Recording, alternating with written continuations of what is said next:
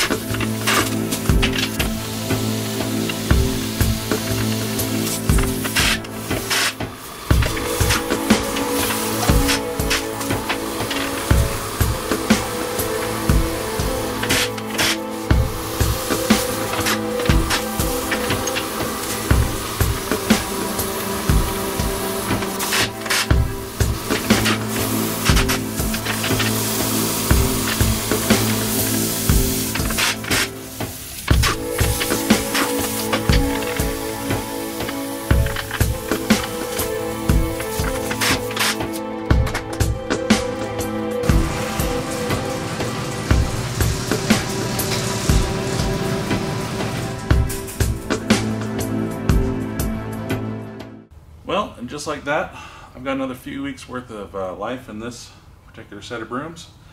They're pretty easy to change. One of the questions I get asked a lot is, um, how often do we change these brooms and does somebody else do it for us? Well, yeah, they get changed. Depends on the season, probably every week or two, um, every few days, depending on how bad we're working. But uh, yeah, we change them ourselves. It takes a few minutes and like this one did fight me, so why not, right? Anyway, that would be a pretty short video if that's all I did. So I'm going to do a little housekeeping on this truck, uh, kind of clean it up a little bit because I haven't been. So time to fix it. Okay, so you can see here, this is construction equipment and it does get quite dirty. So dirt all over the dash, the wheel, over here to the controls and of course the floor and, and whatnot but I'll go ahead and get that. I'll start by blowing it out and then I'll clean it up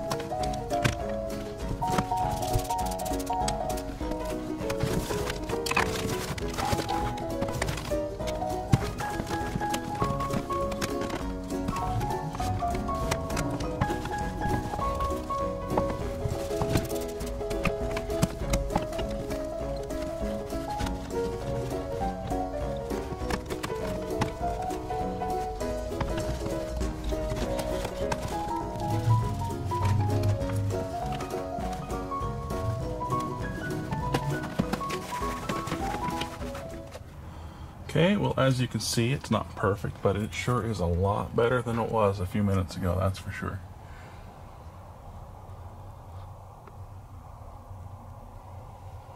Well, that pretty much does it for this episode of Adventures in Sweeperland. As you can see, um, got a little bit stuff done today, just little nitnoids that I haven't been able to do during the week.